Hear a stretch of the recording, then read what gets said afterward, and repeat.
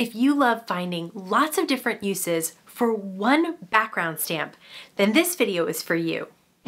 Hi everyone, I'm Rebecca Keppel and in today's video I am sharing five different ways to use the new Simon Hurley peel apart background stamp called Plaid Builder. It's part of his amazing fall release and I'll be using lots of the other stamp sets from the release to make these cards but really what I want to focus on is five different ways to use that Plaid Builder. So let's jump right into the first way to use this background stamp, which is to ink it up in two different colors and stamp it in two different directions. Whenever I'm using a red rubber cling mounted stamp, I like to use my original MISTI, but in order to do that, you have to take either the black foam pad or if you're using a mouse pad like I am, out of the MISTI, and then I like to put my Tim Holtz Media Grip back in. You can stamp it with that in there as well.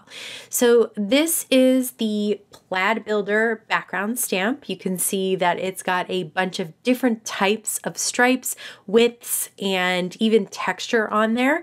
And I'm going to ink it up with a color of Simon Hurley ink. This is Roar. And I'm doing a mixture of tap tap and kind of swiping back and forth to get a lot of ink on this stamp because I really want a good impression. So I probably stamped it a few times.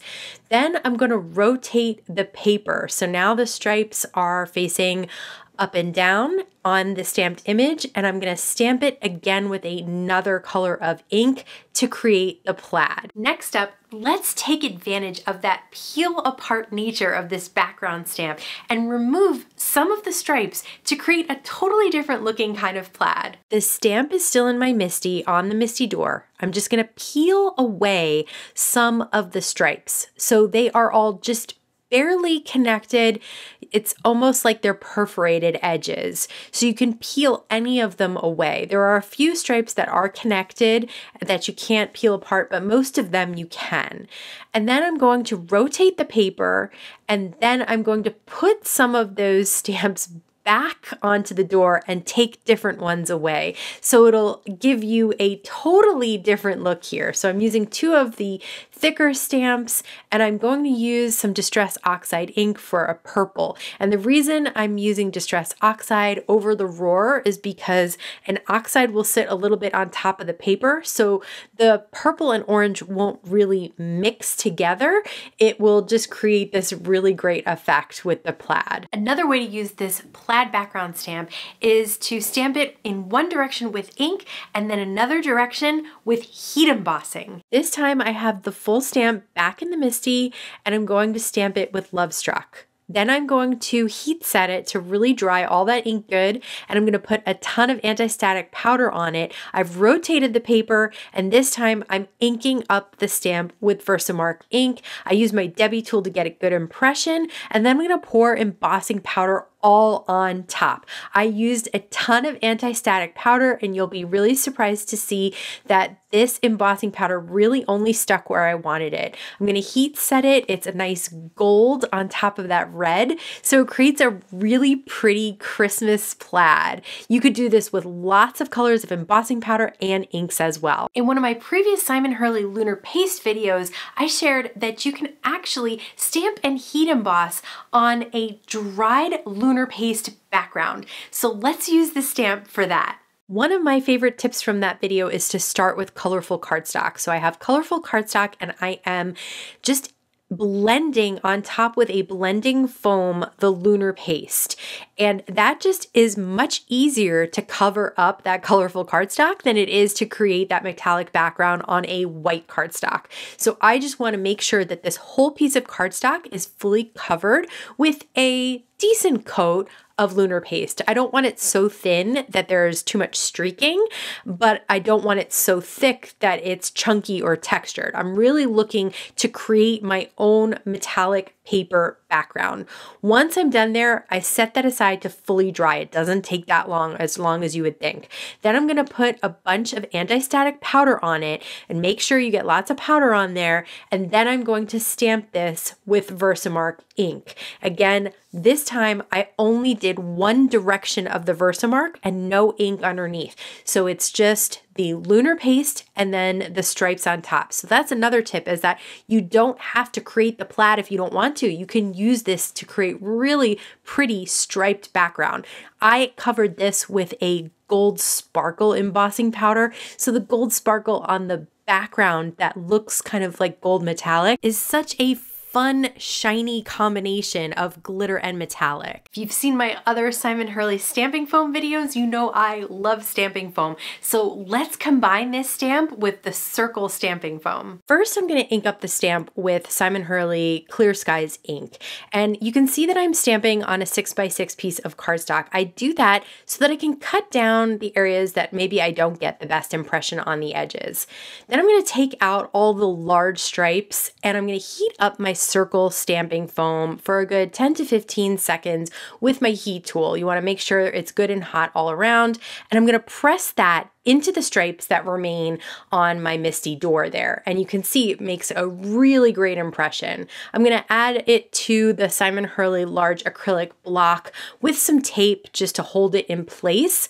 And I have it in a direction where I can easily line up the lines on the acrylic block with the lines on the stamp so that my stamped foam will go in a different direction, creating plaid in a circle.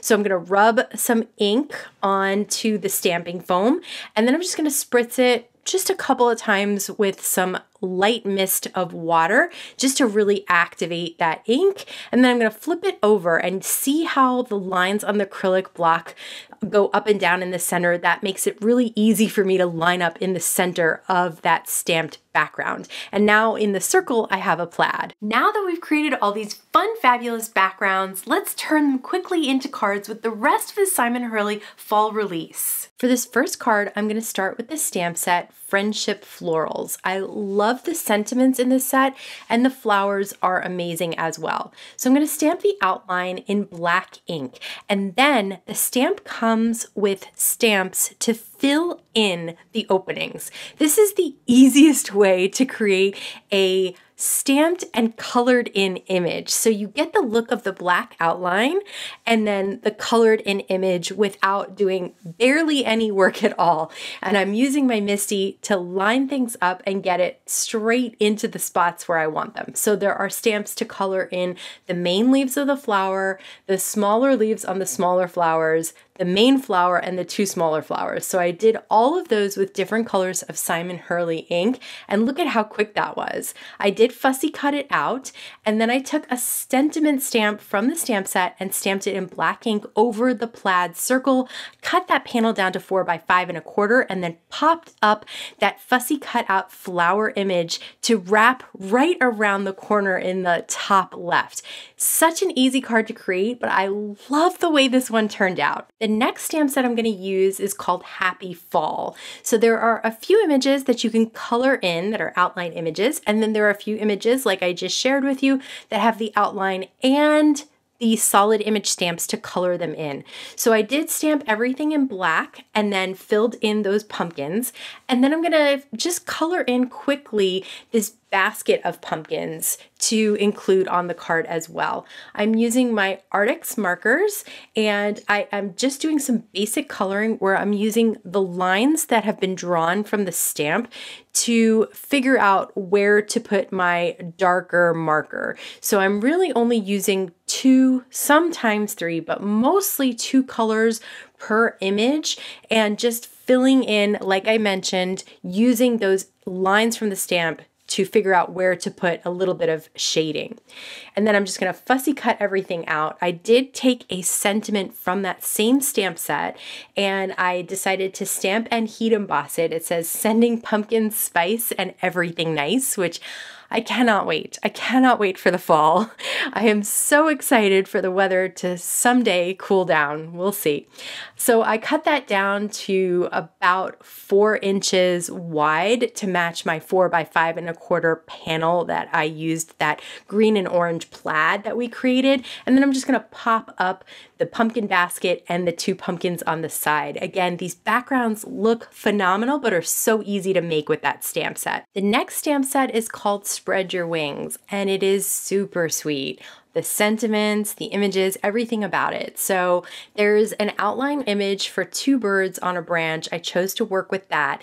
I stamped that in black and white, and now I'm going to multicolor stamp the two bird images. So I'm using a couple of Simon Hurley inks and I'm going to stamp the top in blue and the bottom in yellow. Where they cross over, they'll create this really bright, pretty green. And you can see that I just smooth out the lines with my finger so there's no harsh lines on that ink there. Then the other parts of the image, I am just gonna color in with some Copic markers nothing fancy because these branches are pretty thin and the leaves are kind of small. So I will add a little bit of detail here and there, but mostly I just wanted to color those in. I did stamp a sentiment from the stamp set and on white cardstock in black ink and cut it down to like a sentiment strip. Then I'm going to pop up that sentiment strip on the glitter and lunar paste background, which I cut down to four by five and a quarter and matted on some blue cardstock.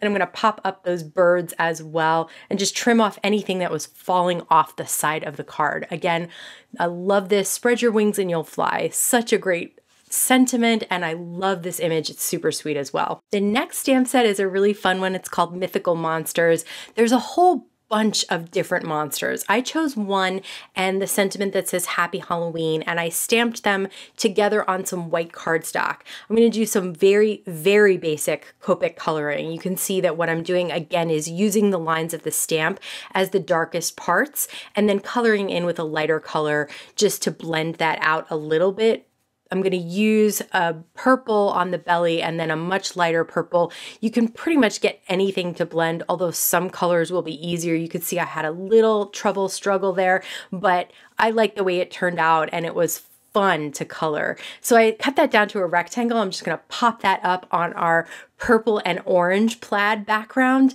Super simple to complete this card, but it's so much fun and I love the plaid background, so easy to make. For the Christmas background, I grabbed a flower from the Spread Your Wings stamp set, and it is a flower that has the ability to fill it in with the solid image stamp.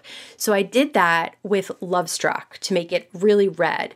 Now I know this flower is not actually a poinsettia, but I am pretending that it is for this card because I'm going to use it on our Christmas background. So, you know, you can definitely think outside the box and create with flowers that really complete your card, even if it wasn't meant to be that flower. And I love the way that that colored in, especially with the stamp in the center. I did use sending smiles across the miles as my sentiment. You could add a Christmas sentiment if you want. I thought this was nice for somebody who was far away for the holidays.